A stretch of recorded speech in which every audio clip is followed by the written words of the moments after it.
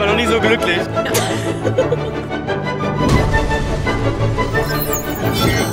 Wir waren gestern Autofußball spielen und dafür sind wir extra raus nach Brandenburg gefahren zu einem random Typen, der uns auf unserem Discord-Server geschrieben hat, dass er in seinem Garten ein richtig dickes Spielfeld, ein paar umgebaute Autos und einen gigantischen Ball hat. Und ich bin immer noch nicht drüber hinweggekommen, dass dieser Typ hinter der Kamera einfach immer wieder ungebremst in mein Auto reingebrettert ist. Da hatte ich auch wirklich Bock drauf, weil wir wollten gerade losfahren und du warst mal wieder nicht da, Leo. Und was hast du eigentlich gemacht? Ich bin nur am Frühstücken. Ja, als dann Leo das endlich mal geschafft hatte, zu uns zu kommen, sind wir erstmal ganz viel Autobahn gefahren und Marie fand es irgendwie nicht so cool. Marie geht's dir schlecht? Ja, Julius.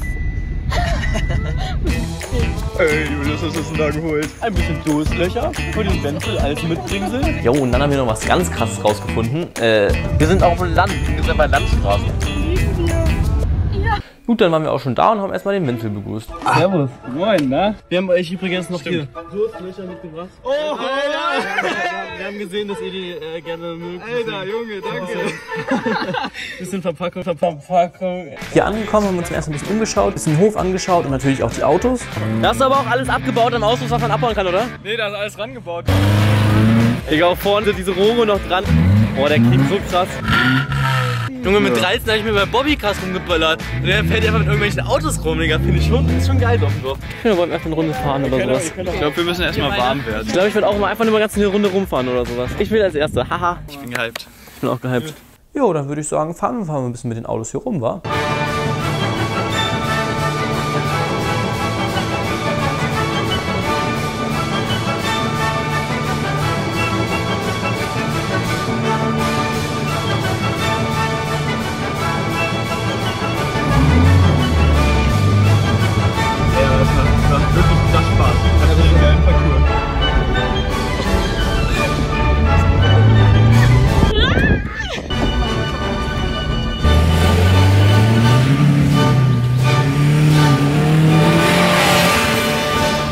Beim Fahren ist uns jetzt aufgefallen, dass man nicht so richtig driften kann, weil die Handbremse halt immer festgestellt ist, wenn man die hochzieht. Deswegen schrauben wir da jetzt noch eine schnelle Schraube durch, damit die immer locker ist. Ja, was drin? Oh, ey. Und dann konnte es auch schon weitergehen.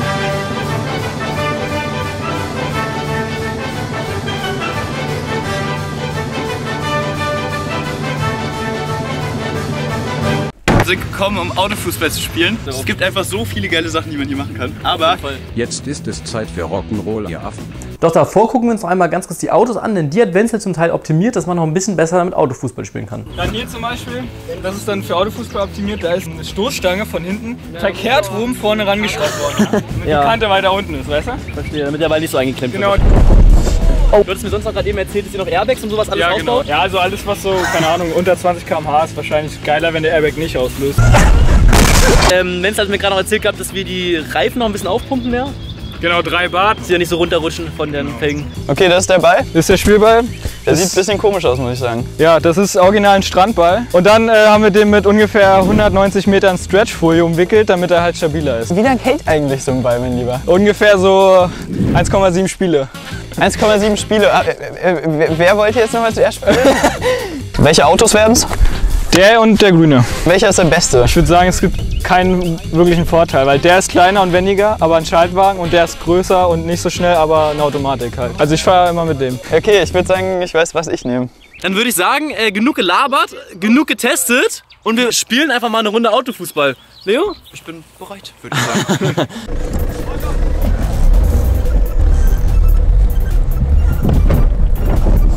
Oh, oh, oh, Leo, Leo, Leo! äh, könnt ihr mich runterschieben?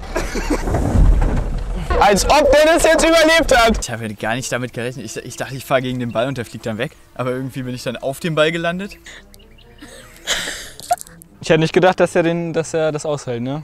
So ein oller Strandball. War auf einmal so gefühlt drei Meter in der Luft und konnte halt natürlich nicht mehr runterfahren, weil meine Vorderräder ja in der Luft waren. Da habe ich erstmal schon gedacht, oh Junge, was ist denn jetzt los? Aber dann hast du mich ja runtergeschoben und dann war alles wieder cool.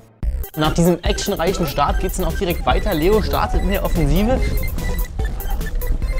Julius ergreift direkt die Gegenoffensive. Doch Leo ist relativ schnell wieder hinten. Das ist auf jeden Fall eine sehr spannende Sache. Es geht erstmal viel hin und her. Niemand weiß so richtig, wie man mit dem Ball umgehen soll. Leo schiebt den Ball so halb vor sich her. Irgendwie rollt er dann doch immer wieder zur Seite weg. Ähm, das erfordert auf jeden Fall schon einiges an Übung, das wirklich gut zu machen. Julius geht dann immer wieder in die Gegenoffensive, nachdem Leo den Ball verloren hat. Doch Leo ist immer wieder sofort am Ort und Stelle, um dann dort den Ball wieder zu blockieren. Hier sieht jetzt Julius die Chance, rammt da leicht Leo weg und schiebt den Ball mit einem Affentempo. Oh, Leo hat den Motor direkt absaufen lassen. Oh, das wird spannend. Ich glaube, Leo kommt da nicht mehr her und da ist dann das Tor gefallen. Und somit steht es schon mal 1 zu 0 für Julius. Leo geht direkt wieder mit der nächsten Offensive in das Spiel rein. Julius blockiert an der Stelle, rammt dann leicht die Bande. Oh, uiuiui, was war das denn? Hier, die Tür sah auf jeden Fall mal besser Wie war aus. das, als der, die Scheibe eingefahren wurde bei dir? Die Scheibe ein. Es wurde nicht nur die Scheibe eingefahren, du. Ja, da bin ich wahrscheinlich leicht zu aggressiv gefahren. Ich hatte dann nur noch das Tor im Fokus und wollte den Ball einfach irgendwie reinmachen, komme was wolle. Da war es dann zu spät, um noch auch rechtzeitig abzubremsen. Digga, hörst du immer? Ja. Oh shit. Oh. Oh jo. Die Tür sah auf jeden Fall mal anders aus. Menschen machen Fehler. Ja. Julius kam auf mich zugefahren, auf einmal macht's Rums. Ich, ich, ich habe den Schaden gar nicht so mitbekommen. Ich dachte, ja okay, er ist halt in meine Tür reingefahren, aber dann bin ich ausgestiegen und es war alles komplett verbeult.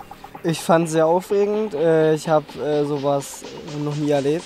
Es war, schon, es war schon intensiv und Julius konnte berichten, dass man Glasscherben fliegen sehen hat. hat. Schaden ist in Grenzen geblieben, sag ich mal. Die fahren wenigstens noch alle, ja. Das ist schon mal ziemlich gut.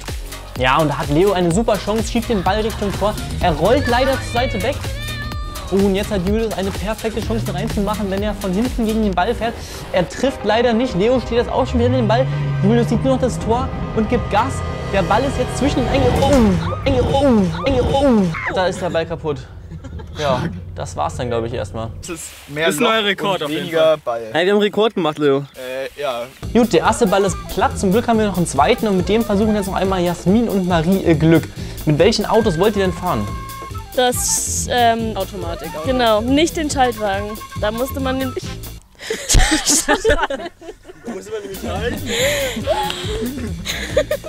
Gut, beide im Automatikwagen geht natürlich nicht. Jetzt fängt erstmal Marie im Automatikwagen an, nachher wird nochmal gewechselt. Doch wie funktioniert überhaupt so ein Automatikwagen, Marie? Also, ein Automatikwagen. ja, das ist ein Automatikwagen. Geht der an? Äh, du musst auf die Bremse drücken. Du musst in, ja, Ist die rechts oder links? die, du fährst nur mit einem Fuß. Und Bremse ist rechts. Ist an? Nein, Was? hört sich nicht so an. Du musst dir ein bisschen rumdrehen, den Schlüssel. Das hört sich doch gut an. Diese Person wird jetzt gleich den nächsten Ball zerstören. Ich muss sagen, ich habe ein bisschen Angst, dass wir hier alles kaputt machen. Okay, und los.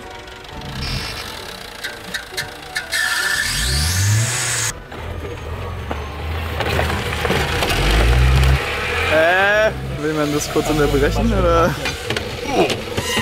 Ja, genau diese Chance sieht natürlich Marie und fährt ganz, ganz langsam und sicher den Ball ins Tor rein. Und somit steht es dann 1 zu 0 für Marie. Gut, die nächste Runde lässt nicht lange auf sich warten. Jetzt gab es einmal einen Autotausch und Jasmin sitzt in dem Automatikwagen und Marie im Schaltwagen. Mal gucken, wie das so funktioniert. Wie gut Marie ich nach? im Schaltwagen. Das gefällt Was mir gar nah? nicht. Marie im Schaltwagen. Was Ich sagst du? glaube ich, tausendmal abholen. Okay, gut. Marie startet direkt mit durchdrehenden Reifen, der direkt fliegt. Sie fährt auf den Ball zu. Jasmin ist auch schon beim Ball. Und oh, oh das sah gar nicht gut aus.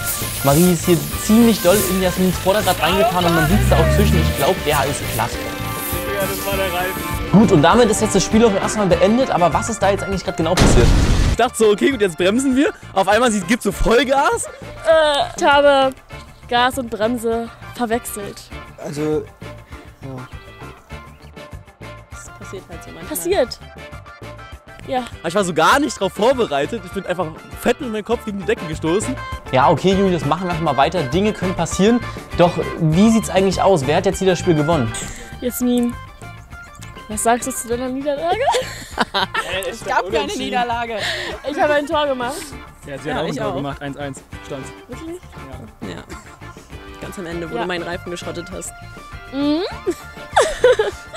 ja. Ich würde sagen, es ist krass viel passiert hier. Wir fühlen uns alle ein bisschen schlecht, würde ich sagen, weil wir angekommen sind da. Die Tür ist komplett verbeult. Die Schürzen sind vorne alle komplett ab von den Autos. Das eine Auto hat einen Platten, das heißt, es fährt erstmal nicht mehr. Ja, was sagst du dazu? War schön. Ja, war schön. Also ich würde auch sagen, es hat, es hat krank viel Spaß gemacht. Ich bin wirklich dankbar. Der Schaden ist in Grenzen geblieben. Also ich hätte fast sogar erwartet, dass vielleicht sogar mehr passiert. Also es fahren jetzt noch alle Autos, das ist schon mal auch erstaunlich.